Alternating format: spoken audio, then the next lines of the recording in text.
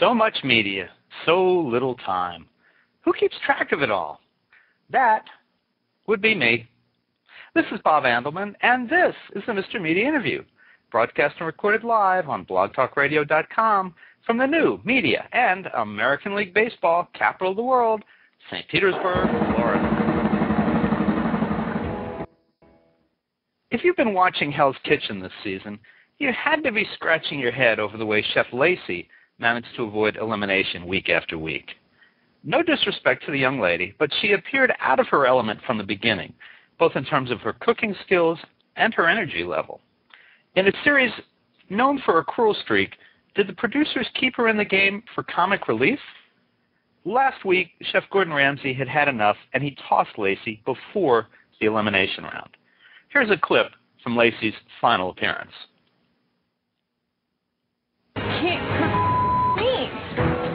Window, yes? Hey, madam, VIP, VIP, VIP! Yes, Chef, I need three minutes, Chef. Three minutes? Why? Cut, do you, it's, it's all be there! Every 30 seconds. Madam, where's this? Like, shut up, so maybe I can get you your well done Wellington. Chicken, lamb, Wellington, let's go! You can do one table, surely. Sure, Chef. I'm just gonna see what happens. Send it, let's go. Behind you, Robert. Excuse me, Robert. Behind you, Chef. Oh my God.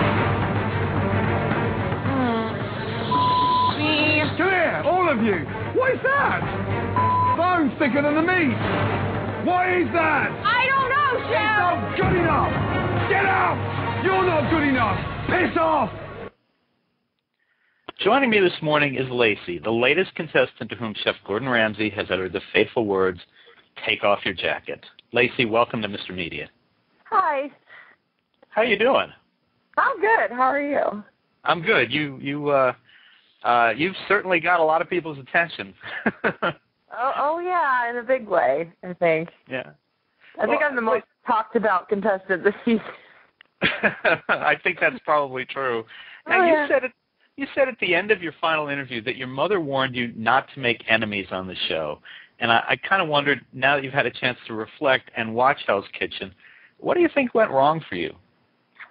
Um, I definitely agree that I was in way over my head. Um, but I've I've watched the show, you know, since it first came on, and usually, you know, the past seasons there's always been, you know, a couple people that don't have any restaurant experience and not really have a cooking background. So I thought, you know, well, at least I have a little bit of cooking background, and you know, I can learn things pretty quickly. And you know, I think I think you know it wouldn't be too bad. But then I get there and everybody's a chef, and I'm like, oh boy.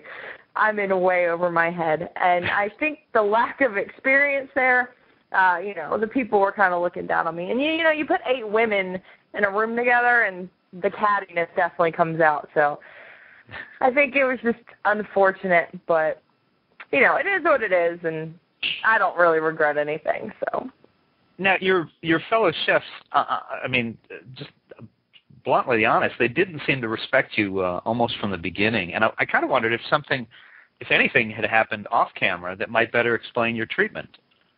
You know, I think it was just the fact that, you know, they were like, why is she here? She's not on our level. Because, you know, all these people were like chefs and sous chefs and executive chefs and had been doing it for years. And, you know, I think they were just kind of, you know, looking down at me like, oh, great, we have the inexperienced one on our team.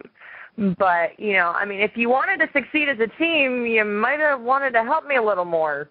So I, I didn't understand, you know, and I'll never understand what they were thinking, but, you know, I there's always that one person that everybody doesn't get along with, and it just happened to be me. So, mm. what, do, what do you, uh, how did you manage to stay on there as long as you did? I, I mean, it it seemed like week after week. oh, know. I, like every like literally, like when you see the eliminations, and I was up there, you know, fighting for my life, and you know, you'd see me walk away back into the dorms, and I just have this look on my face. That look was, I can't believe I'm still here.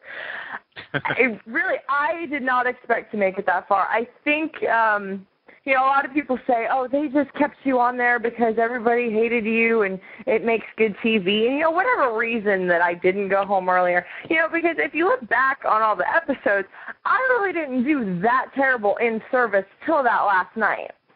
Hmm. So, you know, I just can't cook meat. Oh well. well, I think you At proved least I that. was honest. Well, you think that'll be good for you, like at family gatherings in the future, that no one will expect you to cook meat, and so you'll be off the hook for things? Well, it's actually funny because now I'm a cake decorator, so I'm way on the other opposite side of the food spectrum. But uh so if, if Gordon ever decides to open Hell's Bakery, he can give me a call. now, what uh, what was your background going into this? I thought it was interesting that you said that you've watched the show for, for, for you know for a long time, so you knew what was going on there. What was your background coming into the show? Well, you know, I, I'm a culinary school graduate. Um, you know, and I've catched a lot of flack for, you know, it was community college, but you know, we had a good program. Um, I worked on and off in restaurants since I was 15, so I, I knew the food service business. Now, I've never worked on a line like that. I can honestly say, I have not. So that was probably my biggest downfall. And I think also, know, that first night where I told the red team, look, guys, I'll be honest, I have no experience. They were kind of like, oh crap, we have her on our team. And I think that's where it all kind of went downhill.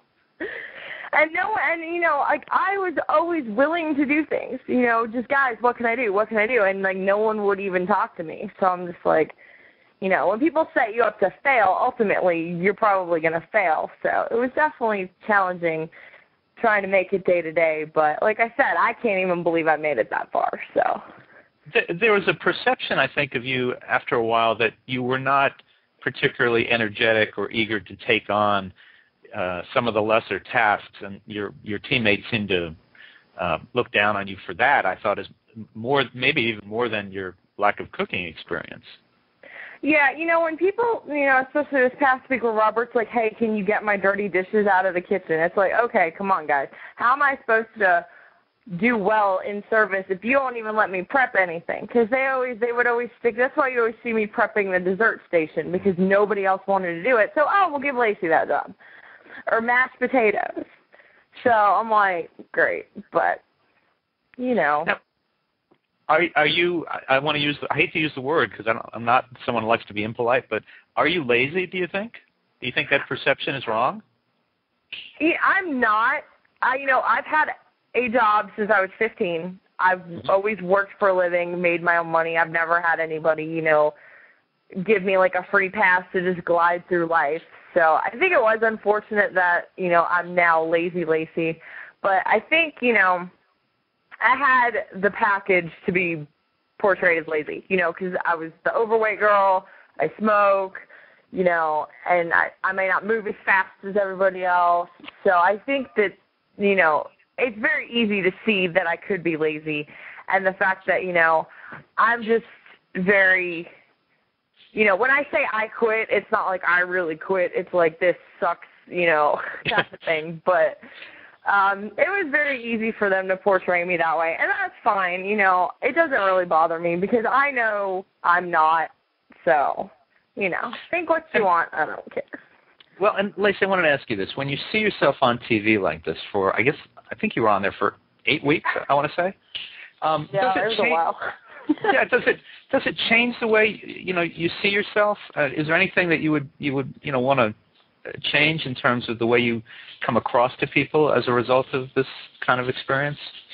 You know, it definitely was interesting because, you know, your friends aren't going to tell you when you're being whiny. So to Yeah. see it, you know, and you know, I think everybody whines and complains about stuff. I mean, it's human nature, but you know, to be in that situation, you know, people are going to whine and complain. I just think that, you know, I did it more than everybody, which is why that's what was shown. So it's really like, it's like, wow, you know, I should just lighten up. So You know, I mean, like my my managers at work, like people ask them, "Oh, is they really is she really that whiny?" And they're like, "Yeah, she is." I mean, they're more joking around, but it just it kind of like makes you realize, you know, when you get in a stressful situation, just kind of chill out.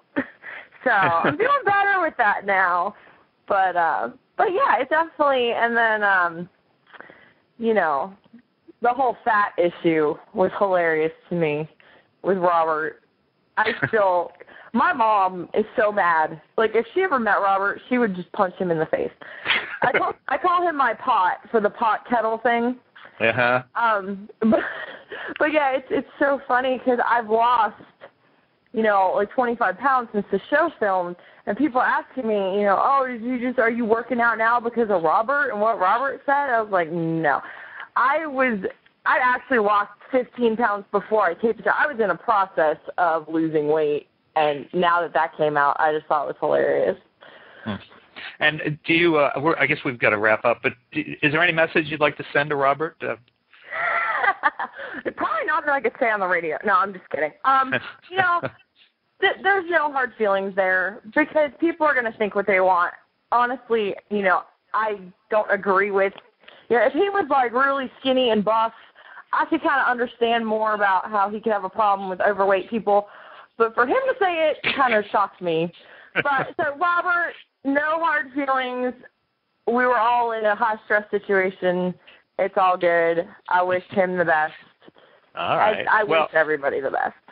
Well, uh, folks, you can catch uh, Chef Gordon Ramsay and the remaining chefs on the hit reality cooking show Hell's Kitchen, which has a new episode on Fox every Thursday at 9 p.m. And you can catch episodes you miss or highlights at www.fox.com slash Hell's Kitchen. Lacey, uh, you were very kind uh, uh, to, to handle this, and uh, thanks so much for coming on Mr. Media today. Thank you. All right, good luck to you. All right, so for more uh, food-related interviews, you can surf over to our main website, www.mrmedia.com, where you can listen to my earlier conversations with Eliminated Hell's Kitchen chefs, as well as the editors of Cooking Light and Eat.com, as well as uh, Food and Wine editor Gail Simmons from Top Chef, and many more. Please think about writing an online review of Mr. Media, casting a vote for Mr. Media, or marking Mr. Media as one of your favorites, whether you listen on Blog Talk Radio, Digital Journal, Podcast Pickle, MySpace, Vox, Folio, Mediafly, High Five, Bebo, Orkut, Podfeed.net, Blubrry, Zencast Audio, or any of the other million places that we seem to be these days. And subscribe to Mr. Media on iTunes, and you'll never miss a show. Just search Mr. Media Interviews from within iTunes and subscribe for free. You can also listen with a piece of string and a tin can in many locations. If you've got an idea for a guest, email me directly at bob at andelman.com. You can also follow me on Facebook or on Twitter, www.twitter.com slash Andelman.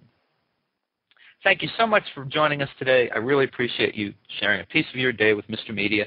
Thanks for listening, and let's go out listening to one more clip from Lazy Lacey. Madam, look at me. Let's be honest, you're done. You can't waste my time any longer. I agree. Give me a jacket and leave Hell's Kitchen. And go in there and say goodbye.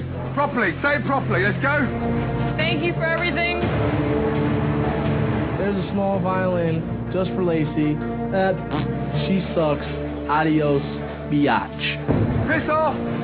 Let's go. Step up a gear. On one hand, it's a relief. I can get back to my normal life. Now I get some sleep at night. But, you know, another part of me wishes to stay and learn more and have that chance to win. But unfortunately, I f- up tonight and I can only look back on the positive things, which there weren't many for me. You know, my mom told me when I came here, don't make enemies. And that's the first thing I did and kept doing the whole time I was here. Sorry, Mom, I should have listened.